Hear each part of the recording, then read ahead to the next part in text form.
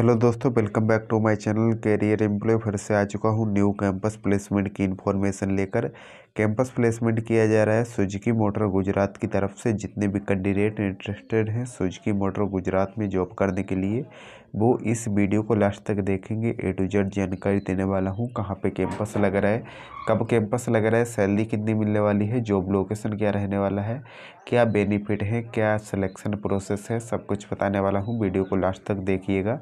तो सबसे पहले तो यहाँ पर आपको निःशुल्क देखने को मिल जाएगा।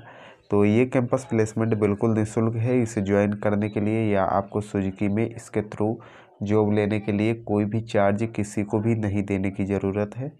और अगर आपसे कोई पैसे माँगता है तो आपको बिल्कुल भी पैसे नहीं देने हैं।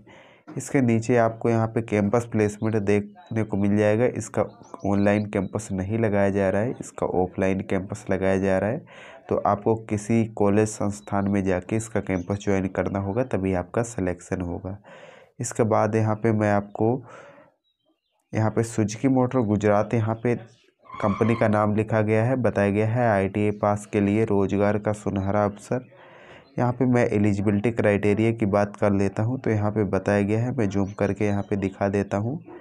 तो यहाँ पे बताया गया है आपके टेंथ में पचास परसेंट नंबर होना कंपलसरी है। इसके साथ ही आपका टेंथ रेगुलर होना चाहिए। आई में आपके साठ परसेंट नंबर होना कंपलसरी है और एज आपकी अठारह से तेईस ईयर के बीच में होनी चाहिए। पास आउट ईयर की यहाँ पे बात करें यहाँ पे आई पास की बात की गई है। 2015, 2016, 2017, 2018, 2019, 2020 और 2021 में जितने भी कैंडिडेट का आईटीआई का रिज़ल्ट आया है वो सभी कैंडिडेट यहाँ पे जा सकते हैं। इसके साथ ही यहाँ पे सबसे इम्पोर्टेंट बात है कि यहाँ पे सिर्फ़ मेल कैंडिडेट जा सकते हैं। फीमेल कैंडिडेट यहाँ पे नहीं जा सकती हैं।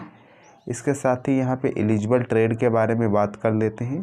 तो यहाँ पे बताया गया है fitter turner builder electrician tool die maker PPU machinist tractor diesel mechanic motor mechanic painter journal automobile COE ये सभी ट्रेड यहाँ पे एलिजिबल हैं। इन सभी ट्रेड में से किसी भी एक ट्रेड से अगर आपने आईटीआई किया है तो आप इसमें जा सकते हैं, आप इसमें एलिजिबल हैं। इसके साथ ही यहाँ पे दिनांक की बात कर लेता हूँ, कब कैंपस लगेगा। तो यहाँ पे 12 तारीख जो पाँचवा महीना है 12 तारीख पाँचवा महीना 2022 में इसका कैंपस प्लेसमेंट लगाया जाएगा। सुबह यहाँ पे नौ दस बजे तक आपको कैंपस में पहुँच जाना है। लिखित परीक्षा और साक्षात्कार के माध्यम से आपका चयन किया जाएगा। यहाँ पे कैंपस सिलेक्शन परीक्षा स्थल की बात कर लेते हैं तो यहाँ पे बताया गया है। Government ITI